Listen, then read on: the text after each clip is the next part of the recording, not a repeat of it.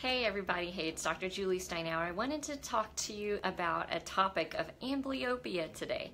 So, for those of you who don't know what amblyopia is, it's a big word, but basically it just means that um, eyesight does not develop properly and the same in one eye compared to the next. Now, this can happen for a lot of reasons, but one of the reasons this could happen is maybe a high level of prescription in one eye or maybe an eye that actually turns. I would say that approximately 30 to 40% of my clinic now is dealing with amblyopia on a regular basis. And so we see this as a condition that is definitely on the rise.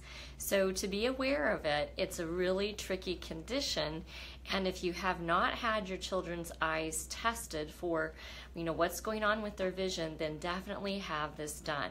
Um, very tricky. They can fool lots of people. They can fool screenings. They can fool pediatricians. Pediatricians, they can fool lots of folks in the process. And oftentimes you never know that one eye is not seeing well. Um, they may even perform generally well overall in playing sports and not look like they're klutzy or clumsy, which we would tend to think would be something you definitely see with someone who's amblyopic.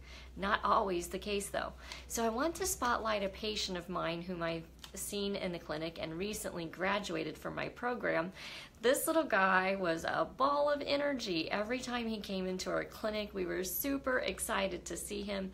Um, he always had a fantastic attitude, and he was five, five years old. Okay, so when I first saw him in October of last year, he came to us because he was having some struggles, and uh, a doctor had referred him to our clinic for this amblyopia condition.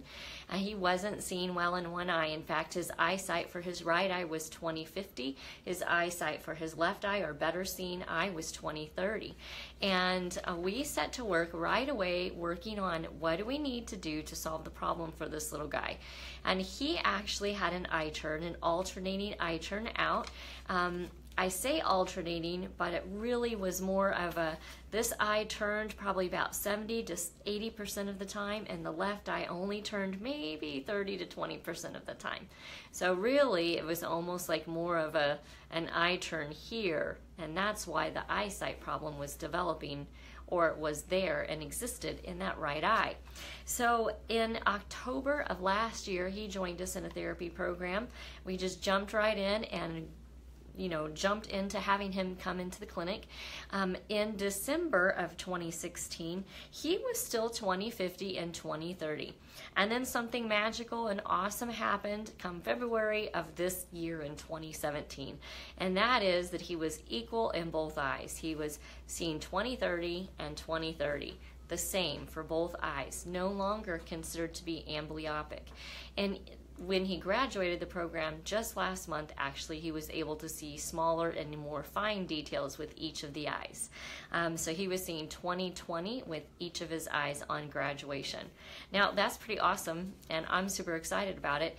It doesn't always mean that we're going to see amblyopic children go from eyesight levels of whatever they are at to completely normalized and non amblyopic situations in the span of four months four months is kind of a big deal. It's actually pretty fast, although sometimes I see it happen more fast than that. And then there's other times when it's actually a slow, dragging process, okay? Sometimes it takes a while to train the brain to do what it needs to do. But I do want to mention some of the various procedures and things that we utilize in our clinic in order to help our patients to be able to battle through and get through their amblyopia to be considered non amblyopic. Um, so here's what we use we use photosyntonics or light therapy. We use something called TBI lights that flash and cause the brain to turn on information. Um, the photosyntonics also send super strong signals um, via light signals, and it sends this information to the brain, almost kind of saying, like, you can't really ignore this eye anymore. And so these were all of the things that I utilized with my little five year old that we just talked about. Um, other things, um, what's called a Wayne after image. And this was a little farther down the line, but we used a Wayne after image to be able to help him to see some details.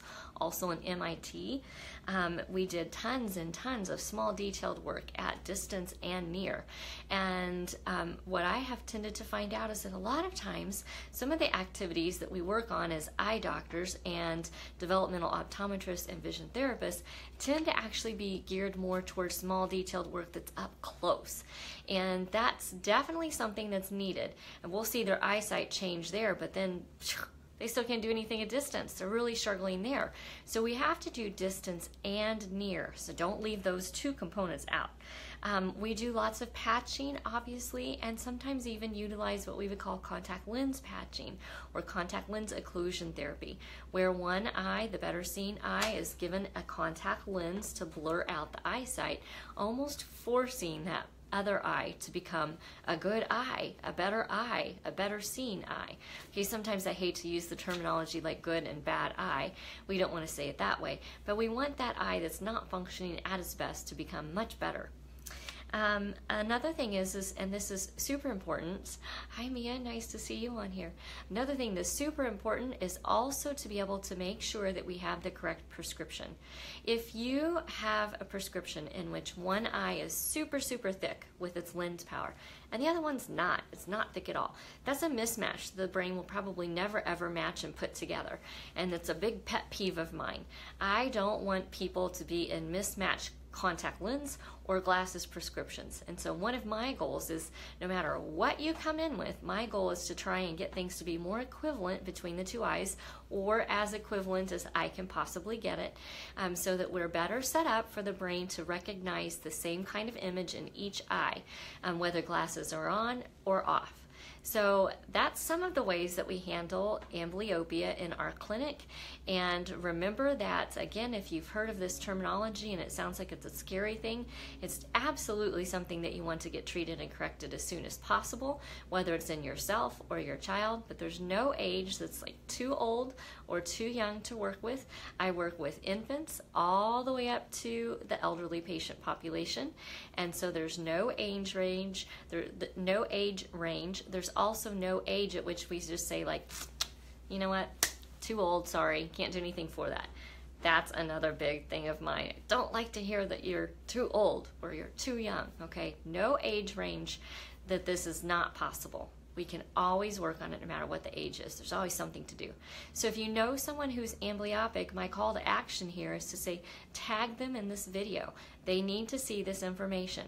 I'll keep putting out more things. I'll keep saying more you know, information and talking about this in different ways that make it make sense to individuals.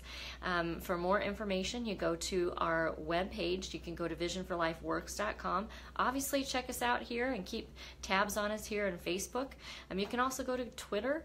And, you know, if you're interested and you'd like to become part of our regular mailing and find out more tips and awesome things about vision, then put a comment down here below and we'll get you on our mailing list. Um, it's an email blast that goes out, it's like a blog. And and so, um, always good stuff, and you're never taken advantage of. And with that, I'm going to say thank you so much for tuning in today. Even if you tune on the replay, let me know that you tune in on the replay, and don't forget, tag people. They need to see this. All right, be awesome. See ya.